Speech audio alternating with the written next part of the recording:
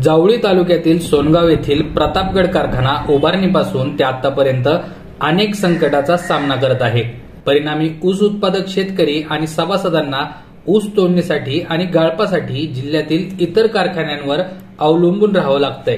त्यामुळे कारखाना सुरू होणे हे आता सर्वात महत्त्वाचे आहे. साखर कारखान्याची पंचवार्षिक निवडणूक बिनविरोध व्हावी यासाठी तालुक्यातील आजी माजी आमदारांसह दिग्गज नेत्यांनी प्रयत्न करूनही निवडणूक लागली असून निवडणुकीत आमने सामने आलेल्या दोन्ही पॅनलकडून कारखाना सुरू करण्यासंदर्भात दावे प्रतिदावे केले जात आहेत. असे असले तरीही संस्थापक सहकार पॅनलच्या पाठीशी तालुक्यातील दिग्गज नेते मंडळींसह आजी माजी आमदारांनी ताकद उभी केल्याने दीपक पवार हे कारखाना बचाव पॅनलच्या माध्यमातून एकला चलोच्या भूमिकेप्रमाणे निवडणुकीला सामोरे जात आहेत. या संदर्भात आमचे प्रतिनिधी सादिक सय्यद यांनी दीपक पवार यांच्याशी संवाद साधलाय. जावलीतील सहकारामधील महत्त्वाचा ठरलेला प्रतापगड सहकारखान्याचा निवडणुकीचा बिगुल वाजलेला आहे आणि आपण कारखाना बचाव या पॅनलच्या माध्यमातून निवडणूक लढत आहे तोट्यात गेलेला हा कारखाना आता निवडणुकीच्या पायरीवर उभा आहे आणि आपण कारखाना बचावाच्या पॅनलच्या माध्यमातून शेतकऱ्यांच्या हितासाठी लढताय. त्याबद्दल आपण काय म्हणाल? जावलीतला हा कारखाना प्रतापगड सहकारी साखर कारखाना कैलासवासी लालसिंगराव शिंदेंनी निर्माण केला. आपल्या तालुक्यातले सर्व शेस या तालुक्यातल्या लोकांनी शेस गोळा करून त्यांना दिले आणि त्यांनी तो कारखाना चालू केला. त्यांनी तीनच वर्ष कारखाना चालवला. त्याच्यानंतर तीस वर्षातले सत्तावीस वर्ष हा कारखाना भाड्याच्या करारानं चालायला दिलेला आहे. आपल्या तालुक्यातली मंडळी सक्षम नाहीत का तालुका चालू म्हणजे कारखाना चालवायला? हा पहिला मुख्य प्रश्न आहे. ठीक आहे.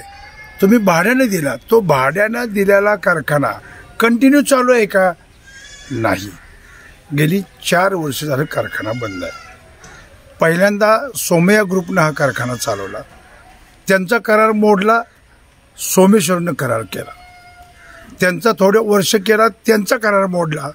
आणि भुईंज कारखान्यानं हा कारखाना चालू करायला घेतला.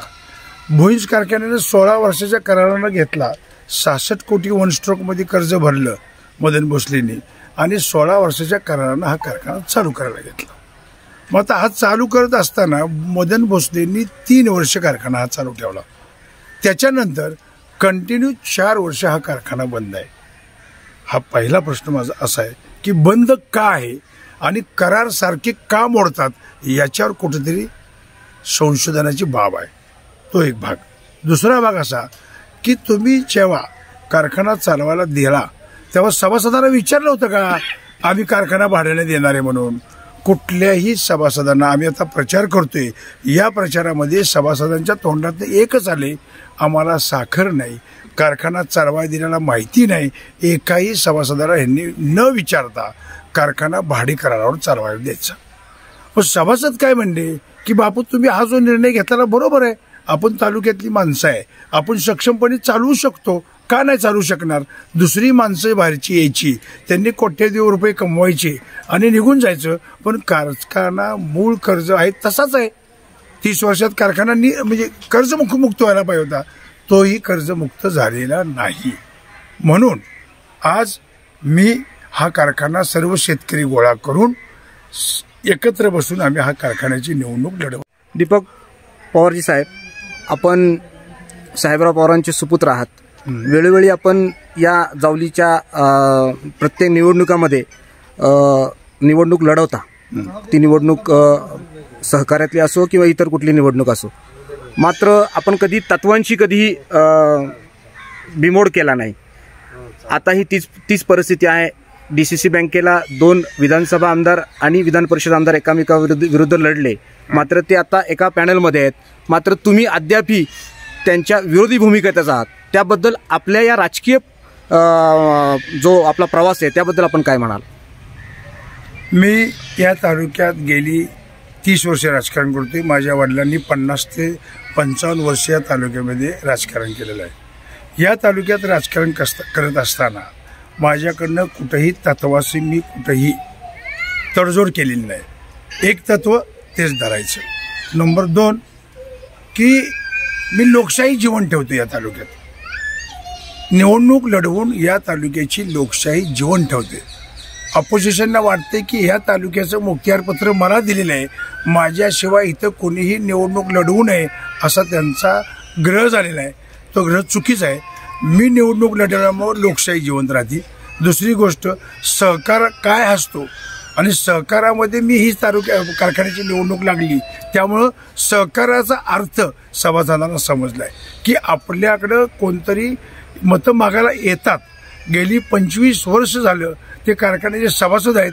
वार्षिक मिटिंग नाही. कुठं त्यांना मिट साखर नाही. कुठंही त्या कारखान्याच्या संदर्भात बोलवलं गेलं नाही. पण आज निवडणूक लागल्यामुळं त्यांच्याकडं सत् संस्थापक पॅनल त्यांच्या दारात यायला लागले. आम्ही त्यांच्या दारात जातोय. म्हणजे सभासदांना निवडणूक काय आहे? सहकार काय आहे? हे आज समजलेलं आहे. म्हणून आज सहकाराच्या माध्यमातून सभासद मला भरघोस पाठिंबा देतील असा माझा ठाम विश्वास आहे. दीपक पवारजी आपल्यावर एक आरोप होतोय. की आपण जिल्हा परिषदेच्या निवडणुका समोर ठेवून या कारखान्याची निवडणूक लावली. याबद्दल आपण काय म्हणाल? मला कळालंय आमदार या तालुक्याचे आमदार वारंवार वाक्य करतात की जिल्हा परिषदची निवडणूक ठेवून हा तुम्ही कारखान्याची निवडणूक लागलेली आहे. जिल्हा परिषद हा भाग कंप्लीट वेगळा आहे. आणि कारखाना हा सहकारातला भाग आहे. आमदारांना हेच समजना आमदार कुठलं गणित कुठं लावतात हे त्यांनाच माहीत नाही. म्हणून माझं एक म्हणणं आहे जिल्हा परिषदचा हा भाग वेगळा आणि सहकारातला कारखाना हा भाग वेगळा आहे. त्यामुळे कुठलं कुणाची तयारी ठेवून असलं बिलकुल आमच्या डोक्यामध्ये नाही. जिल्हा परिषद येईल तेव्हा आम्ही बघू ना. काय करायची ती? सध्या आमच्या पुढे सहकारातला साखर कारखाना लढवायचा चाललाय. त्यामुळे आम्ही ह्याच कारखाना सध्या बघायचं. चालू आहे ह्या निवडणूक बघायची चालू आहे आमची.